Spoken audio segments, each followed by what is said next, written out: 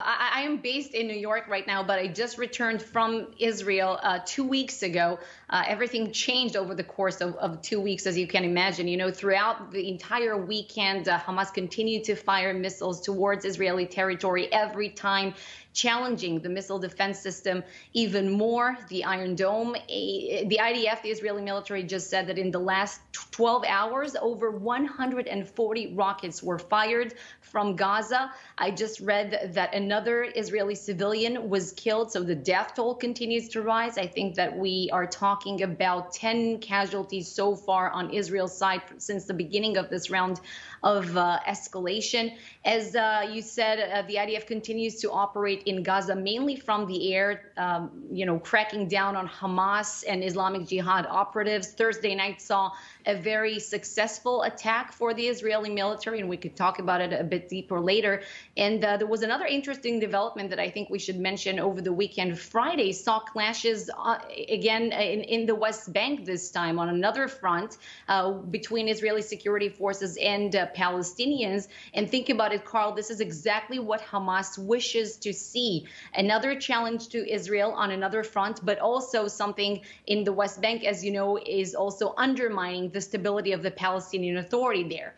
Yeah. And if this is not challenging enough, you know, the domestic front has been uh, very, very challenging for Israel's military police and police because whenever I talk to Israelis, and I should say Jews and Arabs alike, they describe to me that the uh, riots, the violence in mixed Jewish Arab towns like Acre, like Jaffa, like Lod, and Haifa uh, is something that has been very difficult to deal with and contain. Sometimes it's, it's even scarier to them uh, or more concerning that the the constant threat of the missiles that they are somewhat used to.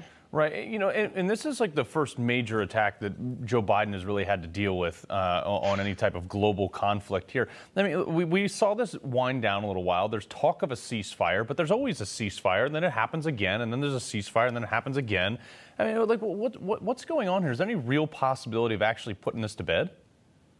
Uh, that's a good question. Well, the long term, of course, uh, we'll, we'll have we'll have to come up with a better solution, you know. But uh, it's it's the vicious cycle of, of, violence in the Middle East and specifically in, in this region, Israel and the Palestinian uh, territories. But um, you know, regarding the Biden administration, of course, that the U.S. is uh, somewhat involved, as we're hearing from different reports behind the scenes in trying to de-escalate the situation. Also, there has have been some reports that Russia, the European Union, uh, even Egypt, and the UAE leader have been somewhat involved in talks behind the scenes. Uh, but as you know, Benjamin Netanyahu told the Israeli public just a few days ago that this operation will take some time, and at the end, Israel will regain its deterrence.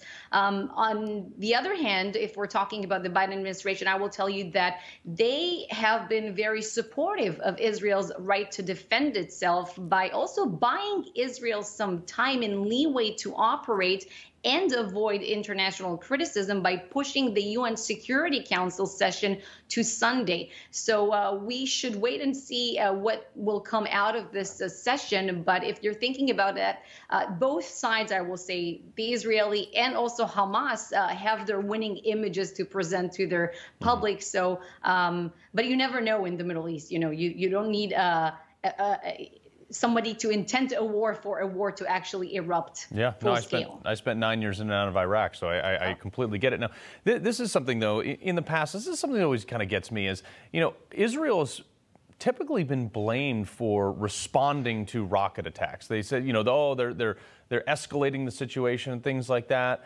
But you know this has been going on for generations. This is not like this didn't happen in the last few years. This is a generational conflict. You know what started this one this time?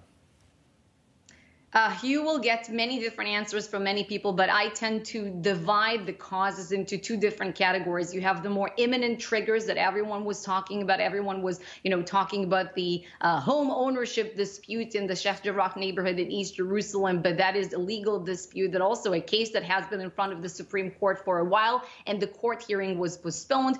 And then you had very viral TikTok videos of Palestinian youth uh, punching uh, Jewish Orthodox in Jerusalem and that is something that has been brewing for a while. It led to protests and counter protests and then clashes in uh, Jerusalem. And of course, you have the, the bigger picture of, you know, the uh, Mahmoud Abbas, the Palestinian president, postponing or rather canceling, I think we should call it this way, the Palestinian elections.